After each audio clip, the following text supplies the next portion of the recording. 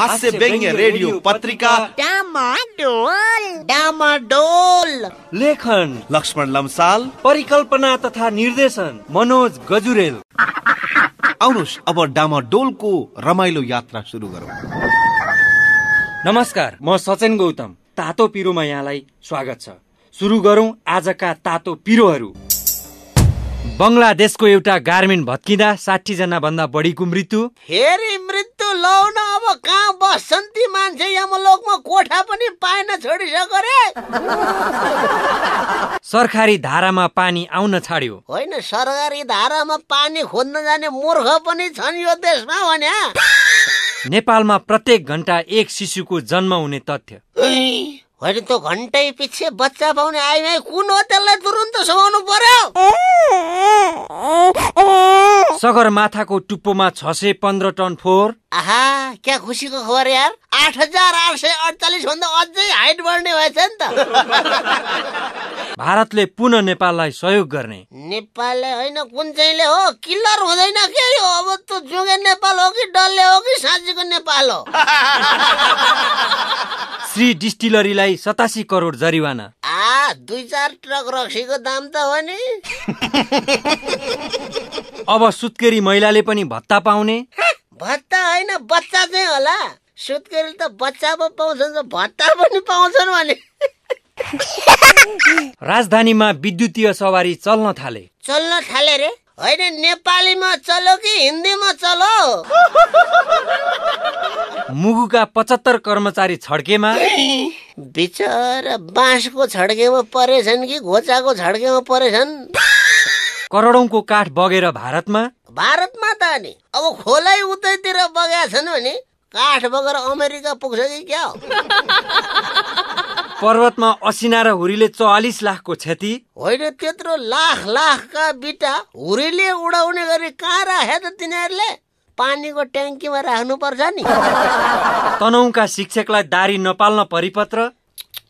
यो सरासर महिला अधिकारको हनन हो। अब तिनका श्रीमतीलाई बिजोग हुने भएन। बिचराहरूले आफ्नो श्रीमानलाई केमा समाएर तान्छन् अब? नेपाली पुरुष पनि बेचिन थाले? एकदमै खुसीको कुरो। हामी घरमा पाँचजना बाउ छोरा छौँ दाम त राम्रै आउला जस्तो छ। अब मोबाइलमा पनि चलचित्र हेर्न सकिने। होला होला। त्यही भएर पो मोबाइल बोकेर फिल्म हलमा जाँदो रहेछन्। नेपालको प्रसिद्ध औषधि कम्पनी बन्द हुने स्थितिमा। होइन सङ्कटकाल सिद्धिन भ्याएको छैन बन्द गर्न थालिहाल्नु पर्छ त।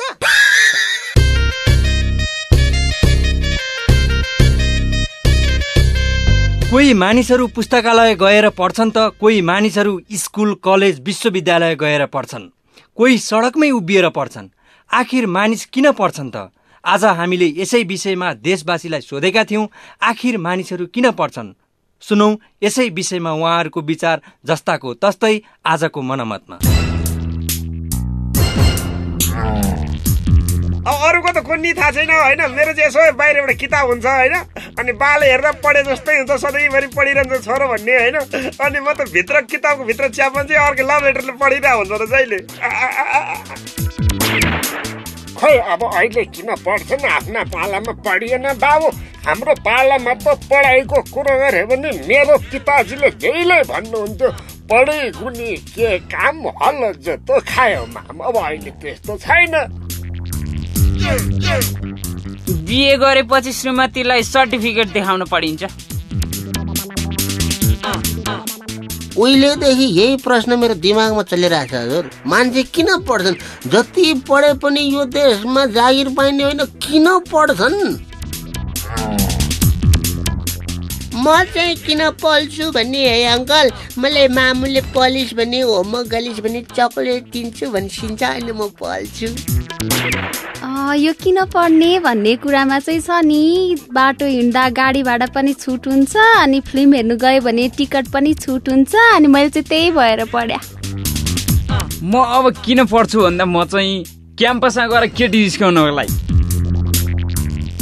अनि छ नि म चाहिँ किन पढ्छु भने होइन? अनि कस्तो बोयफ्रेन्डको याद आउँछ होइन? अनि बाबा मामुले दिनुहुन्न कि? अनि कस्तो गर्छिन्छ अनि त्यही भएर चाहिँ अनि म बोयफ्रेन्डको फोटो बुकमा राख्छु होइन? अनि त्यही हेरेर बस्छु कि? अनि पढे जस्तो गरेको पो त। अब पढ्ने भनेर त खास पढ्ने अब म त कलेज जान्छु होइन? अनि घरमा बस्नु लास्ट रहेको हुन्छ। अब कति घरमा बस्ने होइन? त्यसो क्याम्पस जाने नि टाइम पास गर्नु त्यही भएर जाने अब पढ्न त त्यस्तै हो दाई छ नि अस्ति त मैले पत्रिका पढिरहेको होइन अनि कस्तो मलाई त पढ्नै आउँदैन थियो कि? अनि त्यसपछि मैले त पत्रिका पढेको होइन भरे अङ्ग्रेजी पत्रिका उल्टो पढेछु कि? मैले त छि कस्तो लाज लाग्यो।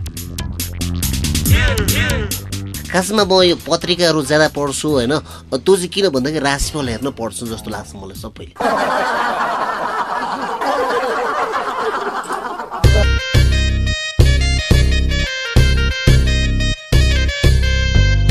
हास्यबारमा यहाँहरूलाई स्वागत छ।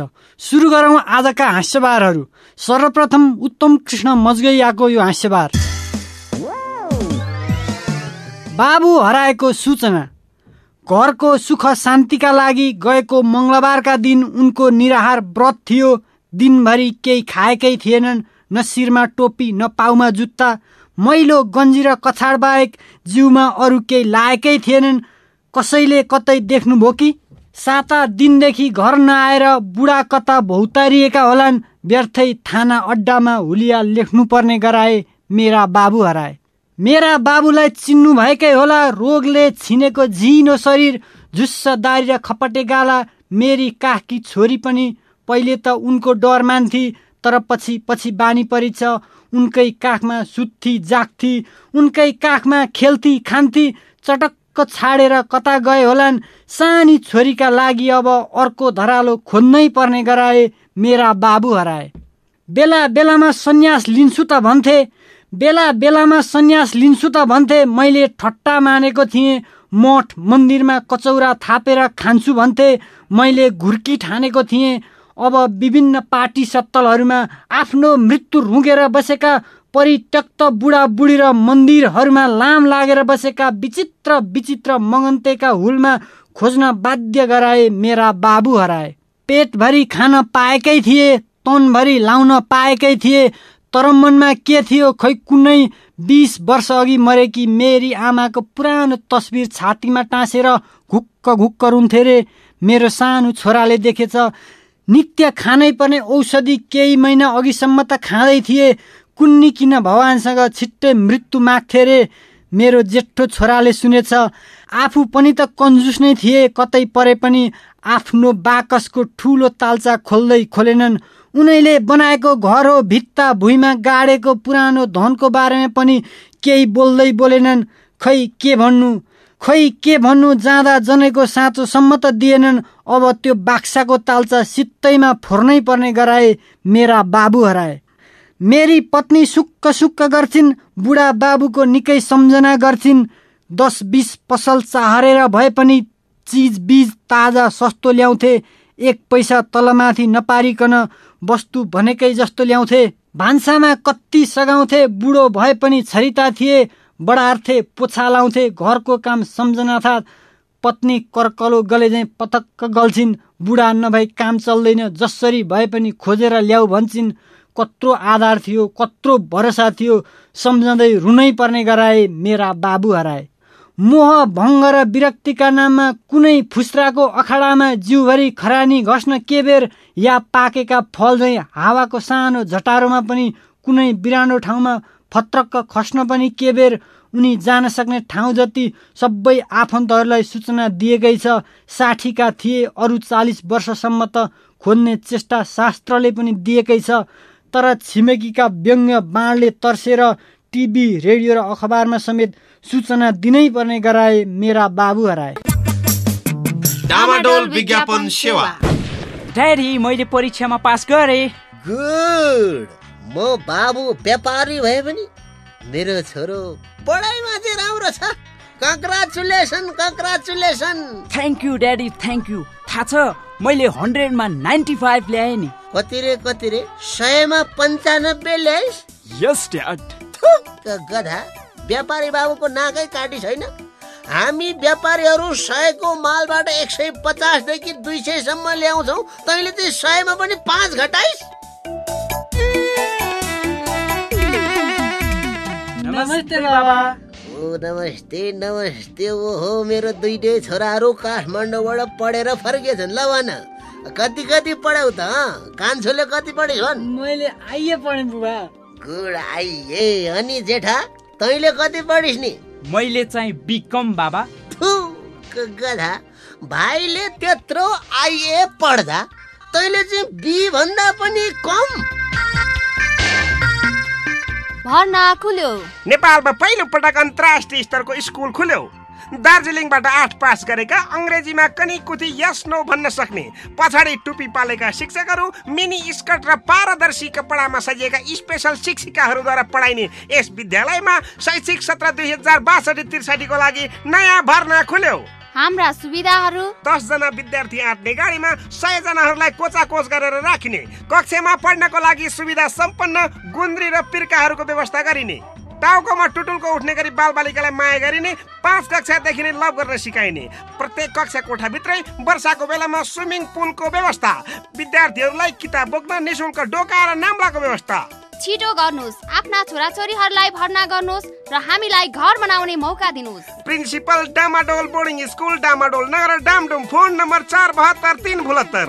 Email address danger school at the rate लुटमेल dot com पढ्न पाउनु सबैको अधिकार नपाउनु धिक्कार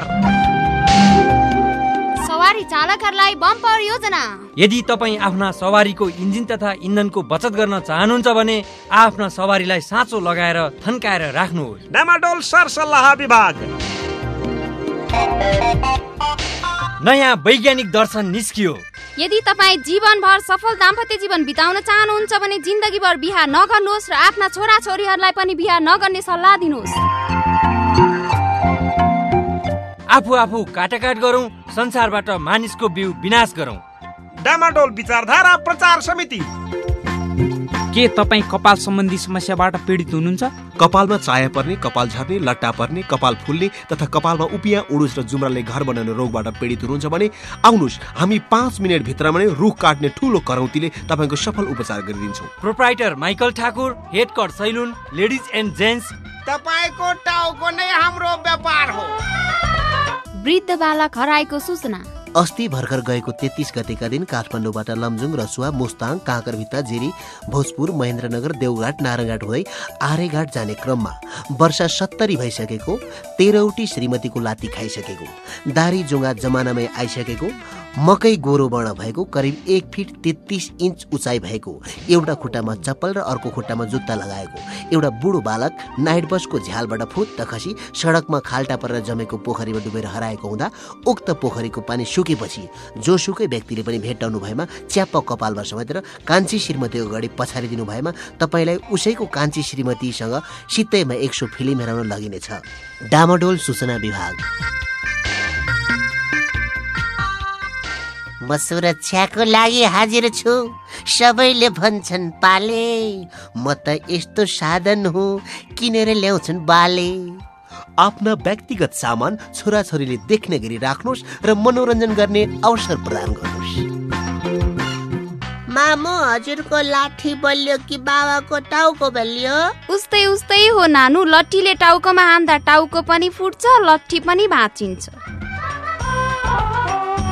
बाबु हो यो हो हाम्रो दाँतको बनावट। राजु तिम्रो दाँत त किराले खाए जस्तो छ। किन नखाओस् त सर म आफ्नो दाँतको लागि अङ्गार छाप दन्त मञ्जन प्रयोग गर्छु। दाँतको जसले गर्छ हिफाजत मोती झै चम्काउँछ। चुरुट बिडी खैनी खानाले मुहार मङ्की झै बनाउँछ। धुम्रपान स्वास्थ्य र स्वास्नी दुवैका लागि हानिकारक छ। डामोडोल स्वास्थ्य सेवा विभाग।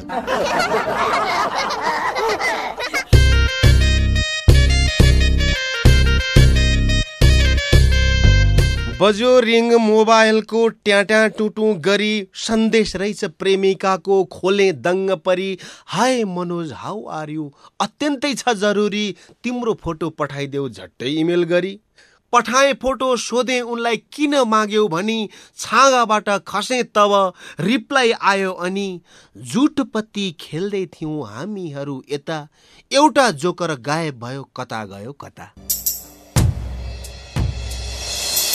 आजले डामाडोल हास्य व्यङ्ग्य यात्रा यति नै।